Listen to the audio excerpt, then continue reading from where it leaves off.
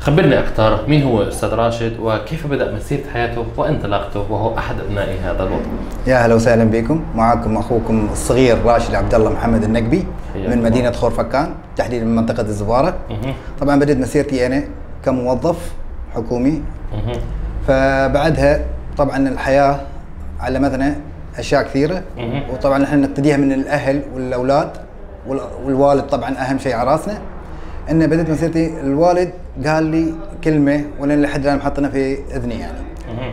ان خلاص أنت اشتغلت أنت تعتمد على نفسك ما تعتمد على شخص ثاني كون نفسك بنفسك. ونحن من منطلق هذه الكلمة أنا بديت في أحد احد المحلات التجارية اللي هو غسيل السيارات اللي هو نبع خور- فورفركان مهم. فبديت كمحل صغير. ومشت معي يعني شوي شوي والحمد لله. بديت يعني براس مال صغير جدا. مش بذاك الراس مال الكبير. كمحل تجاري واحد. فبدينا نشتغل والحمد لله في عندنا زباين نشتغل فعلى الاساس هذا إحنا فتحنا المحل الكبير هذا الحين حاليا. والحمد لله. ومن بعدها شفت يعني التجارة فيها شطارة مثل ما يقولوا. صحيح. كيف تمشي مع الزمن اللي أنت فيه حاليا؟ ويعني من هذا المنطلق أنا خلاص يوميا بقعد في المكتب بفكر شو أسوي اللي قدام بعد. شو آخذ شيء جديد. مش كله مغسلة سيارات لازم أفتح شيء جديد بعد. فحطيت في بالي حط إنه هو تنجيد سيارات. بيكون مغسلة سيارات بجنبها تنجيد سيارات. يعني اللي بيغسل أو بيجن يعني نفس الموضوع. ومع إن الأيام هذه بعد كونت لي شوية مثل ما نقول راس مال. والحمد لله فتحنا مطعم اللي هو الحين النجم العربي. وكمان سابق لشخص ثاني بس خلينا المسمى وكل شيء عليه نفسه. وبس مالك لي أنا. يعني يعني كل فترة وفترة باخذ لي محل تجاري. طبعا قبل لا أدخل المحل الثاني أعمل له دراسة. أشوف يعني شو ال- يعني الشيء الجديد اللي يبغونه هني الجمهور شو اللي يبي. شو الأشياء اللي يبغيها؟ فلازم إني أنا أواكب الشيء هذا. صحيح. والحمد لله واكبنا شوي شوي شوي لحد الحين ما شاء الله عندي كذا محل تجاري.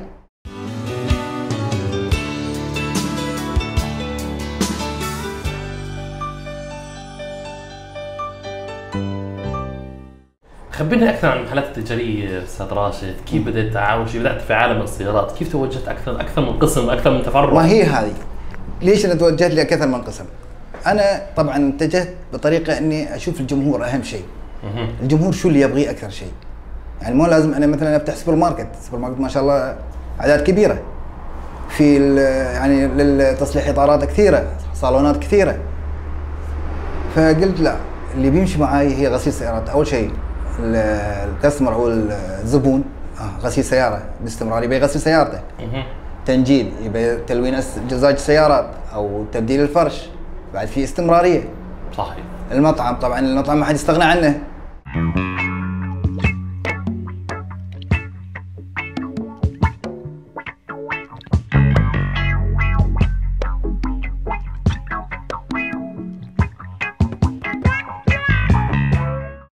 بعد في استمرارية. طبعا شوفي بعد لازم تحط شيء في بالك. فرحت اتجهت لين اللي هو بالنساء. طبعا وهذا ما شاء الله. صحيح. ما في حرمة بال- بالشهر وبالشهر بتوصل له خمسة أو ست صحيح. بالكثير. صحيح. تمام؟ فبعدها اتجهت لشيء ثالث اللي هو طبعا السمك صيد السمك.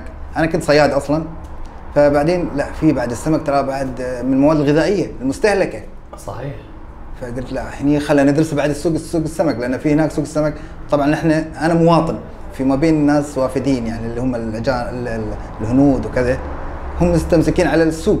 فأنا. بدخل بوسطهم بتكون صعبة. تكون صعبة. بس قلنا ما عليه. حطينا راس مال واشتغلنا. والحمد لله بيع وشراء من الفترة لفترة وبعدين أنا حتى نزلت اللي هو يعني الابلكيشن عندي في الواتساب في الانستغرام. قمت اوزع لأن عندي جم- جمهور كبير صار. وقمت أنا أتواصل معاهم بالواتساب والإنستغرام. جميل. وفي في تجاوب منهم. والله. فعلا أنت مواطن وكذا. عقب شو سويت؟ ضفت خدمة اللي هو توصيل للبيوت مع تنظيف تقطيع حسب الرغبة اللي تبغيها. جميل.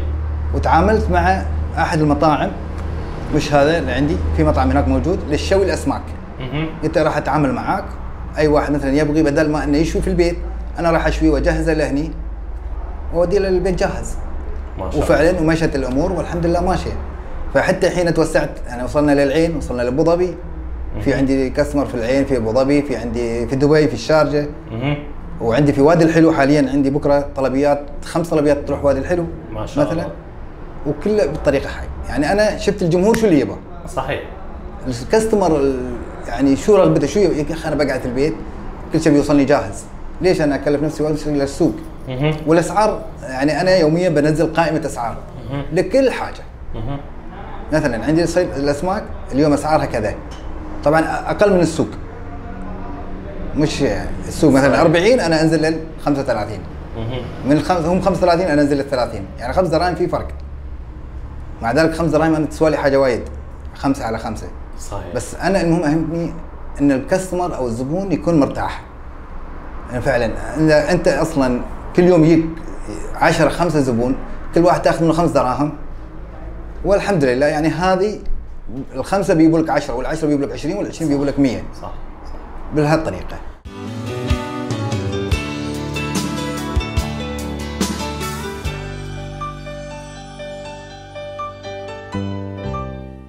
بداية وتحدثنا عن عالم السيارات الذي بدأت فيه، شو الخدمات اللي عندك؟ التميزات اللي عندك؟ مثلاً؟ التميز ان عندي أنا مثلا الحين غسيل سيارات طبعا الغسيل طبعا في أجهزة جديدة كلها أجهزة جديدة حاليا. آه، اولا يعني التميز الوحيد اللي فيه اللي هو بعد ما غسل السيارة بنبخر السيارة مهم. مجانا تبخير السيارة مجانا والريحة تظل لمدة تقريبا أسبوعين في السيارة ما بتروح هي هاي الميزة اللي خلت الجمهور يروح عن باقي المغاسل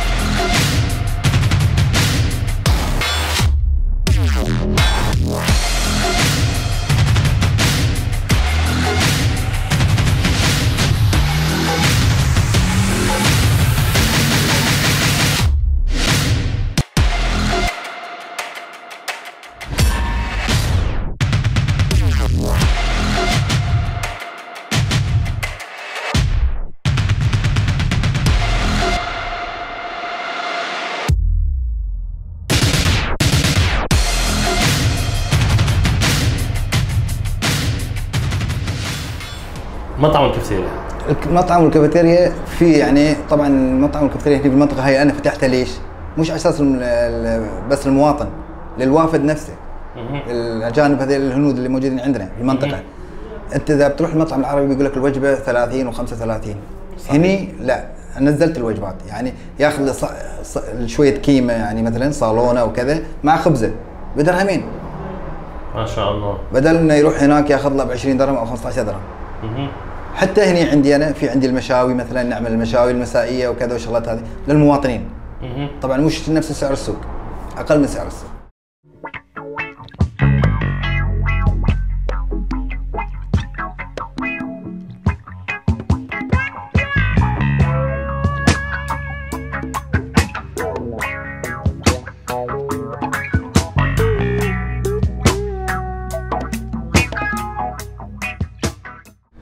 عالم عباية النساء عالم العبايات أنا والله ما يعني شوف عالم العبايات لأن أنا شفت من عيالي من عند زوجتي ومن عند إخواني وخواتي. يعني دائما بيقولوا والله إحنا بنصير مكان الفلاني يشتري عباية أو نفصل عباية. قلت لهم شو رأيكم؟ أنا أفتح المحل وتفيدوني كبداية. قال خلاص. من هالمنطلق أنا فتحت المحل. أها. فتحت محل أول محل. والحمد لله قام عندنا زباين. وأولهم طبعا البنت. الأهل وكلهم الاقارب كلهم جميل من هالمنطق أنا بديتها حتى آه. بعدها بفترة يعني بيكون ما بين المحل ومحل صار له ست شهور بس. إني عشان فتحت المحل الثاني للعباية ما شاء الله كيف؟ فالحمد لله في عندي بعد أقبالية عليه ممتاز وأسعار ممتازة جدا مش بذيك الأسعار اللي فوق وبعدين القطع الخام بروحي بنفسي بروح أجيبها على فكرة. يعني أها. بنفسي أنا بروح اختاره نوعية هي مش اللي أنا أقول لك والله أنا بجيب شيء قيمته مليون وكذا. يعني حتى. مرة أنا نزلت للكويت بنفسي مع الأولاد جبت تصاميم من الكويت. حق هنا مش موجودة عندنا في الدولة. جميل. جبته وعلى نفس التصميم أنا هناك شارينه بمبلغ وقدره بس جبته هنا فصلت منه على أقل من سعره. ما شاء الله. بالطريقة هاي يعني بأوقات حتى يعني بال بالنت وكذا بنطالع ديزاينات وكذا بوديها للعامل بيشتغل عليها وبنزلها.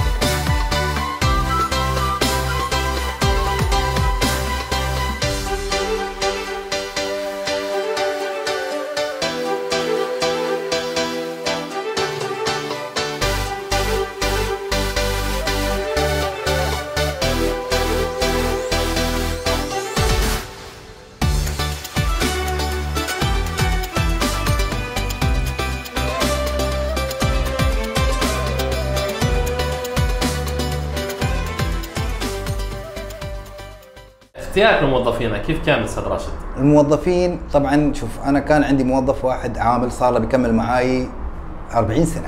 ما شاء الله. من نفس الجنسية هاي. يعني بإخلاص والحمد لله. من 40 سنة هو معاي. ولحد الآن موجود. مهم. بس الحين قلت له أنت خلاص اجلس في البيت. ومعاشه يمشي. وهو اللي جاب لي هذيل العمالة كلها. من. نفس أهله يعني. من نفس منطقته. والحمد لله وكلهم نفس الجنسية يعني ما في واحد باكستاني واحد هندي لا. كلهم اللي هو البنغاليين. جميل. والحمد.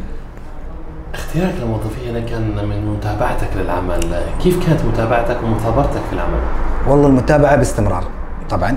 بيوميا بتلاقي من الصباح لحد قريب ما يقولون ال- الحضرة. ولا قبل للمساء للساعة تقريبا 12 أنا بكون لاف على المنطقة كلها. يعني بقعد ممكن ساعة ساعتين المنطقة هاي ساعة ساعتين بروح كذا وبرجع نفس الموال. إذا ما بكون هني أطلع طبعا إحنا عندنا عزب نطلع على العزب. وإذا ما طلعنا العزب هني. جميل. يعني حتى فترة الاعياد عندنا مناسبات وكذا هني بتكون عندي زحمة المنطقة. صحيح. أكون أنا متواجد واحد من إخواني يكون متواجد معاي مساعد. أها. عرفت أنت؟ يكون متواجد معاي. أها. أطلع أنا من هني أسير لمكان ثاني هو بيكون أخوي متواجد نقعد للساعة 4 الفجر لحد ما نسكر المحلات أستاذ راشد بعد هذا النجاح الباهر رؤيتك المستقبلية لوين تكون؟ والله رؤيتنا المستقبلية إن شاء الله تكون للأحسن نحن نتمنى تكون للأحسن وراح يكون نطور في شغلنا أكثر. ونبدع فيه أكثر.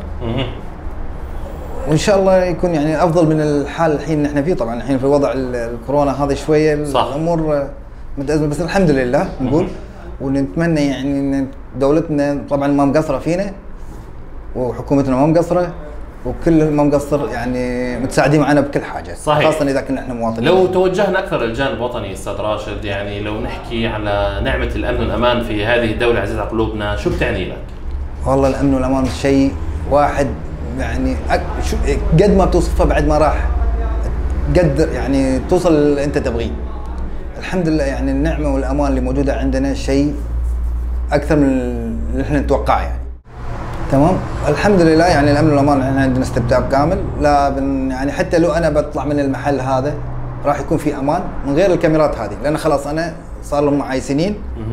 يعني له أي ما راح يتغير حاجة من الأشياء اللي خلاص باستمرار في الدفاتر موجودة وفي كل حاجة. كل سيارة تدخل بيغسلونها برقم سيارة. ما شاء الله.